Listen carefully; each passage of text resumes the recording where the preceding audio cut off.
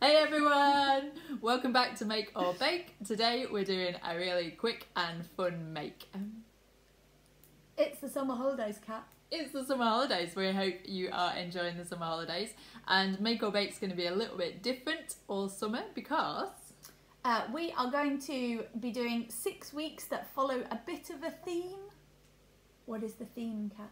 the theme is. Oh, it rhymes. We've, I've set you up for a good one. What The theme is team! You've got a poster. I have got a poster. So this is a resource made by some wonderful people at Blackburn Diocese, which is a group that supports churches all over Lancashire. And the strapline is we're all in this together. Oh, I can't sing it because it's copyrighted. But anybody that knows what I was about to sing, feel free to follow it in your house. So week one of the six weeks holidays, we're talking about what a team. Now Jesus had an absolutely amazing team. They completely changed the world. And so we're going to start off by hearing a little story about some of the members of his team.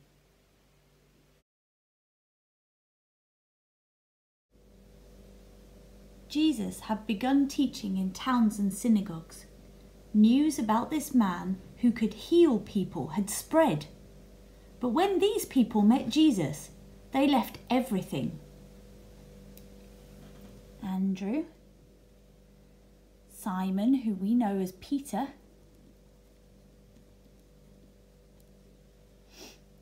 James,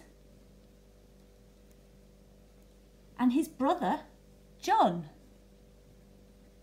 were fishermen. After a long night of fishing, Jesus called to them and gave them some advice to throw their nets off the other side of the boat.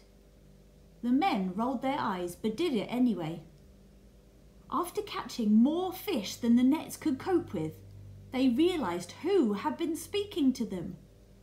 They saw God's Spirit in Jesus, and when he told them to stop fishing for fish and come with him, the Bible says they pulled the boats up on the beach, left everything, and followed Jesus. Matthew was sitting alone in his office collecting taxes from people when Jesus called him. Jesus prayed about which of his many followers he should ask to be his disciples, his special friends who travelled with him, learning from him.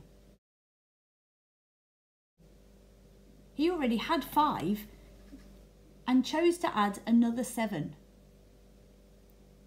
Thomas, James, another one, Thaddeus, Simon, Judas Iscariot. And when Jesus said to Philip, Come with me, he found his brother Nathanael and said, We have found the one that Moses wrote about and the prophets also wrote about. Even though we hear mostly about the 12 male disciples, Jesus had many female followers who also spent their time with him and used their gifts to help him and others. The Bible doesn't name many, but it does tell us about Mary Magdalene, Joanna, Susanna, and Lydia, who all shared their own wealth, gifts, and time.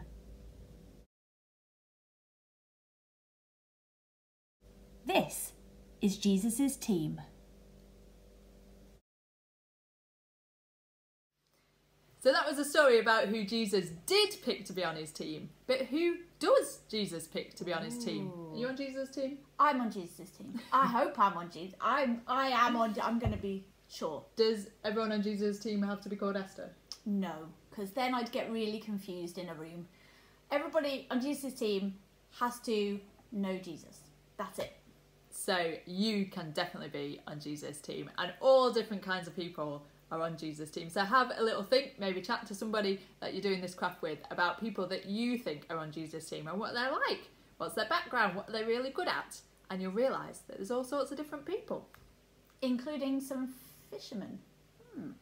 Yeah. What are we making for our craft today? So we're going to make speedboats. And this isn't just a craft. This is a craft. That means you can race the other people in your house, and obviously, I'm gonna be my craft's gonna win. Just the thing. So, what are we making? Speedboats made out of So you need something for your boat. So I don't know what this was. Cherry Some sort of tomatoes. food came in it. Cherry tomatoes, mm-hmm. egg box. Egg box. Needs to be a plastic one, not cardboard. Yeah, I mean you could do cardboard, see how long it lasts, but it's going to go in water. So some sort of base for your boat. If you want to, you can decorate this. But we're so keen to race, We're just going to make it really we're just going to make it, and you can make prettier ones. Which one do you want? We have three. I want that one. Okay, I'm going to use this one. Fabulous. What colour uh, balloon would you like? Pink, purple, green, red? Green. You're red. Oh, red.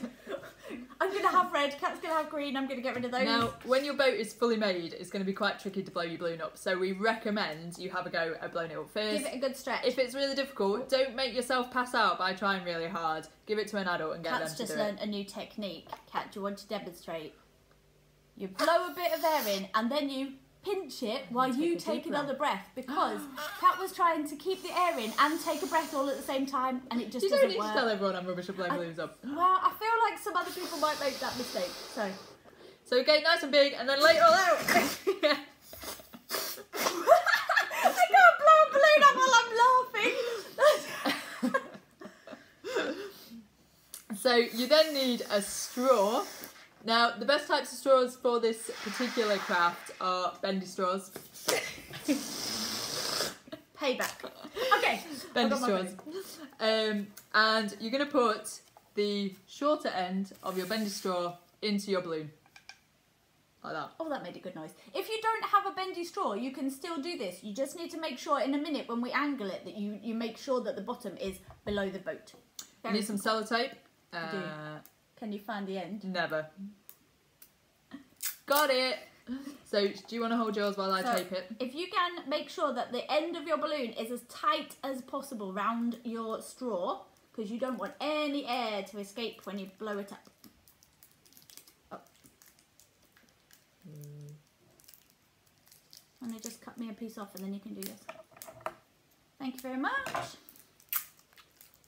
So we're just wrapping the sellotape around. We want to make the best seal that we can do.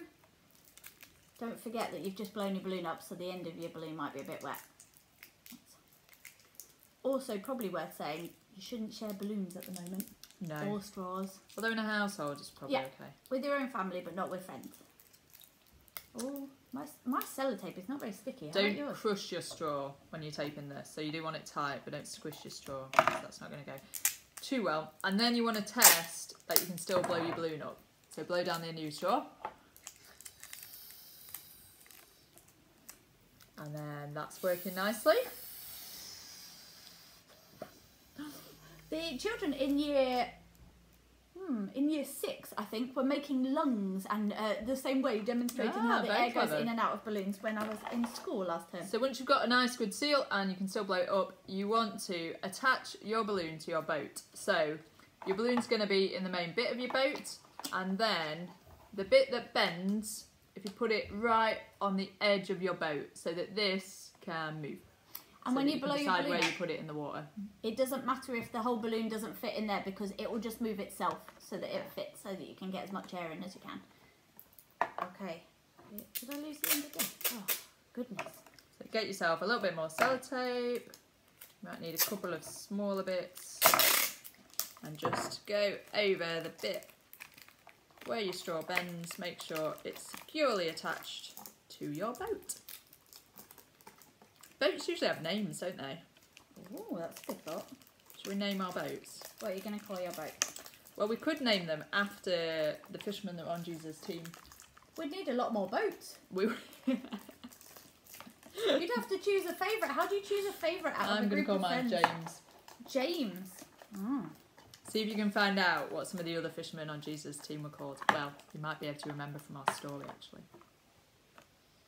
So, I didn't manage to secure mine very well. I think I'm not doing well with sellotape today. I'm using that as an excuse for in case my boat loses. That's my plan anyway. and that is your boat ready to race.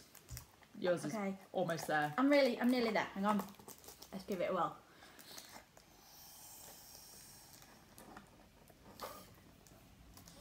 You cover the end, it will keep the air in. I'll hold it. Ta-da! So we're going to race these, and we're going to remember that Jesus picks all sorts of different people to be on his amazing team. Shall we go and race? Well, let's race. Oh. Ah!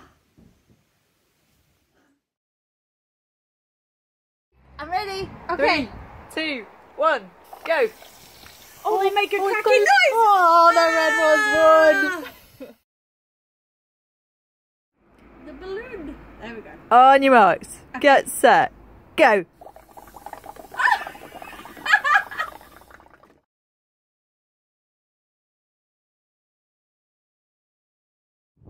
yeah, On ready. your marks, get set, go. Oh, that one didn't even go in the water and it still won. Hi, so our theme for the summer holidays is all about teams, and each week we're going to set somebody a challenge to do while they are setting you a challenge for that week. This is the first one. I challenge Kat. Reverend Kat, would you give today's challenge wearing the straw as a moustache? So you're challenging me to wear this as a moustache? That is your challenge while you give the challenge. Oh! Oh no! I don't think that's gone well. Oh! No, I can't do it. I can't do it. I challenge you. Ah.